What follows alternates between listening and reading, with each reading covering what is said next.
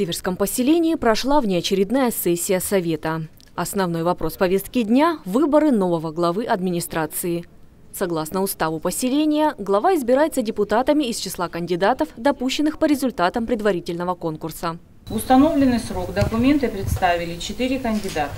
В рамках работы комиссии один из участников конкурса не допущен ко второму этапу конкурса в связи с выявленными в документах нарушениями.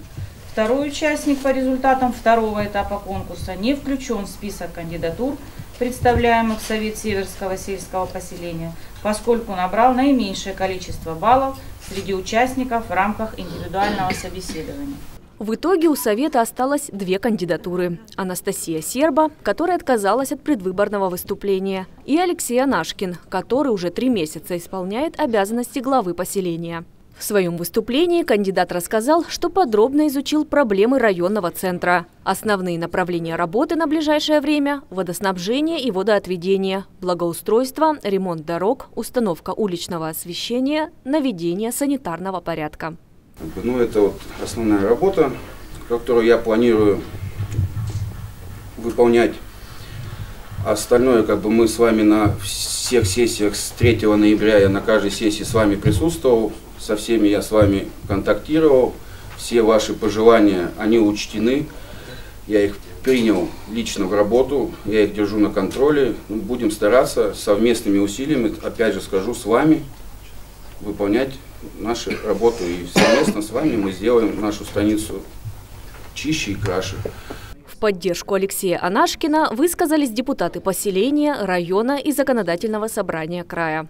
Я 32 года работаю в 43-й школе и впервые исполняющий обязанности провел встречу с коллективом. Выслушал все проблемы, и проблемы школы, и проблемы личного характера, что касается улиц. Ясно, что он изучил э, станицу от и до. Ну и работа сама по себе будет продолжаться, наверное, для того, чтобы мы почувствовали, что у нас достойный глава поселения будет на месте. Человек, который уже стремится к решению вопроса, обсуждает, как решить проблемы. Это уже значит, человек для себя сделал определенные выводы, и он готов в первую очередь посвятить себя станице. А это много значит. Положительный отзыв работе Алексея Анашкина дал и глава района Андрей Дорошевский. Заслушав э, доклад Алексея Ивановича, э, подготовленную речь, э, сразу видно, что человек погрузился в проблематику поселения, вник, поработал с коллективом, поработал с депутатами, поработал с общественностью. Придя сюда э, исполнять обязанности и погрузившись и узнав э, проблемы поселения, не каждый бы согласился остаться и тем более заявиться на главу поселения. Алексей Иванович, надо дать, должен не испугался и изъявил желание. Э, сделал ответственный и осознанный шаг.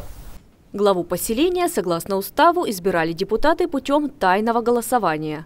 По его результатам 17 из 19 присутствующих депутатов отдали свои голоса за Алексея Анашкина. В торжественной обстановке новый глава принес присягу. Вступая в должность главы Северского сельского поселения, торжественно клянусь добросовестно исполнять обязанности главы Северского поселения, защищать интересы жителей поселения, уважать и охранять права и свободы граждан – соблюдать Конституцию Российской Федерации, законы Российской Федерации, законы Краснодарского края, устав Северского сельского поселения, устав Северского района. Андрей Дорошевский поздравил главу с официальным вступлением в должность, пожелав продуктивной работы на благо северского поселения.